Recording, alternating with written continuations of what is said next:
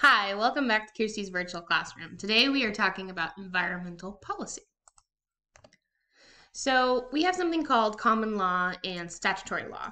So common law is where court-based decisions provide right and wrong answers. So this was very common um, before 1970. There weren't as many laws written, so usually a judge and lawyers would kind of decide what was right and wrong. Um, but then after 1970, we see statutory law, which is where we have written laws by the government to strengthen regulations. So um, a lot of people think that regulations are a lot stricter today than they used to be, and that's because prior to 1970, most of our laws and regulations were based off of common law, where it was decided per court case, um, instead of there being sort of a standard for um, particular regulations or particular laws specifically for the environment. So in 1969, an oil company dumped 100,000 barrels of crude oil into the Pacific Ocean off the coast of Santa Barbara. Um, this killed and threatened a lot of ocean life. Um, so this was one of the really big things um, that happened right before the EPA was founded in 1970. Um, so this, along with the a river in Ohio that was consistently polluted with oil, was often catching fire, which was also killing the um, animal life in the river. So both of those instances were huge red flags, and they led to kind of trying to work more on these regulations and get laws in place so that companies and people couldn't do this anymore or they would be fined or you know there would be some sort of um, consequence to how they were treating the environment so in the 60s and 70s there was a public outcry for the environment so a lot of people um, were very much more conscious of what is impacting the environment um, the pollution that they're seeing and it skyrocketed in the 60s and 70s, especially. Um, there were a lot more cars on the road, which, as we all know, are very um, dirty as far as air pollution goes. Um, they put a lot of um, CO2 and other bad components into the air that we in turn breathe in. Um, so it was said that in the 60s and 70s is when the destruction of the air um, started um, and it's just gotten worse and luckily today we have a lot more things like electric cars um, cleaner burning fuel um, things like that but it's still not you know where we would like it so the, the public demanded answers and there were protests um, most of these people were not necessarily environmental scientists they were environmentalists but um, they had a similar um, agenda as environmental scientists would um, just trying to clean up the air and trying to have some sort of regulations and some sort of justice for the environment. So in 1970 was when the EPA was founded, and we had our first Earth Day, April 22nd of 1970. Um, this is where everybody that believes in the environment and wants a better environment to live in for humans and all life will celebrate the Earth, basically. Um, so, if you have children, maybe you have done this where you've done an Earth Day at their school, or maybe you've done it on your own where you take them to um, a camp. We used to run camps when we were open um, at Fresno State and sometimes at Fresno City. We would um, host grade school kids and do Earth Day activities with them, and I'd have other geologists with me um, teaching kids about Earth um, just different topics. And it's kind of a fun day, and you can make it a fun day. Um, this year, me and my daughter did some stuff when we were in quarantine. And then we wrote some fun stuff out on the sidewalk about the earth. And then I left rocks out for the neighbors if they wanted rocks on their walk. Um, and then December 1970 was when the EPA was finally signed into law by um, President Nixon. And this is kind of the regulatory figurehead for any environmental issue. So this is a federal agency. So this covers the entire United States. And then we'll talk a little bit more about what kind of regulations and what regulators we see in our particular states and region. so this was previously regulated by the Department of Agriculture, um, but now it's kind of its own figurehead so that it has its own agenda instead of agriculture having some say in it. Because obviously, agriculture doesn't necessarily have um, the environment at the forefront of their agenda, if that makes sense, um, because their primary purpose is to provide crops and um, food for the United States. Um, and then in 1963, we see the Clean Air Act, and this is um, for primary and secondary air quality standards. And then, like I said, within each state, we have different um, regulations and implementation plans. Um, California has one of the higher standards for clean air and clean water. So um, we do live in a state that is very environmentally conscious, especially in their regulations. So a lot of people are not exactly always happy about that, but it does uh, do us a service in that our air is has more attention to being clean and our water has more attention to being clean. I'm not going to say that our air is cleaner because we have high density uh, populated areas, especially in basins where um, smog, as if you grew up in the Central Valley, you know that smog accumulates in this area. Um, so it's not necessarily that our air is cleaner, we just have higher standards for our air and we're always trying to clean it up. Whereas some other states don't necessarily implement it as strictly. So this would set limits on a kind of federal level um, to reduce the mobile source of air pollution and ambient air quality standards. Then we have the uh, Wilderness Act in 1964. This allowed Congress to set aside federally owned land for preservation. So this is to try to help um, the ecosystems that were impacted by human activities to kind of reset and try to be preserved and so that some of those that wildlife could come back um, because we had lost i don't know if you remember there i think in like the early 90s 2000s we saw a lot of species um, start showing up on the endangered species list that weren't necessarily there before um, some of those have come back um, and kind of repopulated and some are still on the endangered species list um, so we want to preserve the wilderness as best we can, um, especially if they're on public lands. So you'll see a lot of areas that are national forests. We've got the national park um, system, and then we also see the wilderness system. So those are all trying to preserve some of the natural beauty and natural habitats of different species. Um, then we have the Solid Waste Disposal Act of 1965. Um, this is when we were trying to find more efficient ways to dispose of solid waste. This promotes shredding and separation of waste, burning um, remaining materials, and then promotes recycling. So the big thing that comes out of this is the recycle bins, right? Um, thing the thing that's going to come next is more of the composting right?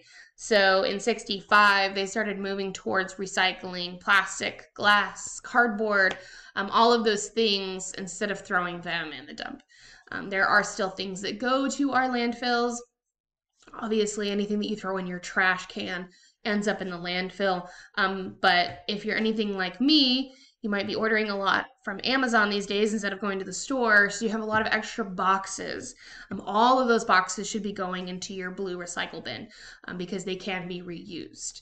Um, so I fill up my recycle bin just as quickly as I fill up my trash bin. So um, that should be common in most households nowadays um, because there are so many recyclable materials being used. And then we have the Federal Water Pollution Control Act in 1965. Um, this is where we try to control the pollution um, in our public waterways. So this is not just surface water, it's also um, groundwater. So anything, any water that can be used for consumption basically falls under this. Okay, so this basically authorized the Surgeon General of the Public Health Service to prepare comprehensive programs for eliminated or reducing the pollution of interstate waters tributaries, and improving sanitary condition of surface and underground waters. Basically, any water um, is falls under this. So this is really good because people were starting to drink stuff that they should not be drinking. Um, there are people that drank highly contaminated water in Fresno um, in the 20s to 50s, 1920 to 1950, um, when we had really big industry boom and then it polluted the groundwater um, significantly. Um, and I spent the first six or so uh, years as a geologist working with a company trying to clean up a huge contamination plume um, in northwest Fresno. And it's still not, it's, it's under control. Um, and it is, when groundwater is pulled in that area, it is treated, but um, it had a significant, you know, kind of impact on what was spent over there, how the water was, um, you know, collected and treated. Um, so this had an impact on those kinds of things. All right, so then in 1968, we see the Wild and Scenic Rivers Act. And so this is to help preserve specific rivers. Um, so there were rivers that were selected in the United States for preservation um, so that they could um, hold their remarkable scenic, recreation, geologic fish and wildlife, historic culture, or some other value that they have. Um, so this was to try to not just protect them from pollution, but also to try to protect their, um, you know, scenic views, or maybe they're really great for recreation. Maybe they have some geologic significance. Um, they have some sort of value to them that um, Congress wanted to see preserved. Then we have the EPA, which is the National Environmental Policy Act 1970, um, so this was big because it authorized Council on Environmental Quality as oversight board for general conditions. It directs federal agencies to take environmental consequences into account on decision making, and it requires environmental impact reports to be made um, on every major federal product or project. Excuse me. So, um, non-dependent on what you're doing with your federally funded project, um, there has to be some sort of environmental impact study. Um, so, like the high speed rail, that is a huge project in the state of California. And it does have federal monies coming in. Um, and they had so many environmental um, impact studies done prior to even breaking ground, um, prior to even making the plans to break ground. So, um, the EPA does help control or regulate um, a lot of those really big projects. Um, and then they kind of send, you know, their regulations down from there um, to figure out, you know, how states want to handle particular regulations. So um, in California, like I said, I worked as a geologist. Most of our like maximum contaminant levels, which is how high a particular contaminant can be in water, air, or soil. Um, most of ours in California were higher than the EPA standards were. Um, so we had to double check with a lot of different agencies in California and make sure that we were within basically their most strict regulations. Um, that way we could get, you know, closure on a site for a client. And we have the Endangered Species Act of 1973. Most of us are pretty familiar with this, and this is to protect species that are considered threatened or endangered. And then sometimes, um, in some instances, depending on the species, we've seen um, humans actually step in to try to promote um, rebirth of that species and try to get them to increase in their population so that they do not disappear because of us. and then we have the Safe Drinking Water Act of 1974. So this is setting standards specifically for drinking water quality. Um, so this is most of the stuff that I dealt with in industry is making sure that the drinking water quality was very high standard. Um, and in California and the Fresno area, the standards are so high that basically most of your contaminants that could cause any kind of lifelong or chronic illnesses, um, you they basically have to be zero. So um, the standards are super super high um, for our area for drinking water quality specifically. Um, then we have the Toxic Substances Control Act of 1976. Um, so the EPA tracks about 75,000 chemicals that are produced or imported into the US, um, and they are screened um, and they may require testing or reporting um, that may pose an environmental or human health hazard. Um, so this this act actually helped us control chemicals that either natural or manufactured um, that may cause some sort of harm to um, air, soil, water. Those are the three basic that they would test. Um, and that in turn will help reduce the human health hazard. Then we see the Clean Water Act of 1977. So this regulates and enforces all of the discharge to water sources and wetland destruction or construction. So this is all US waterways. So this is a big deal.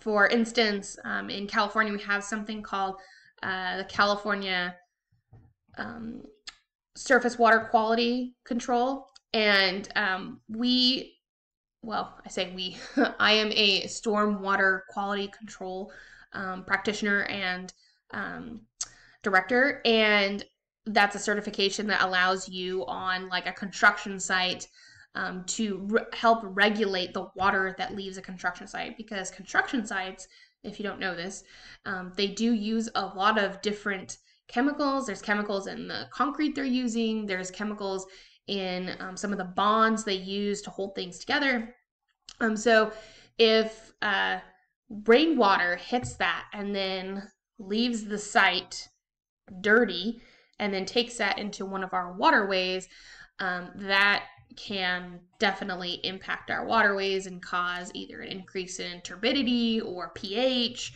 Um, turbidity is the amount of little particulates you'll see in water. So if your water is not very clean, it has turbidity in it.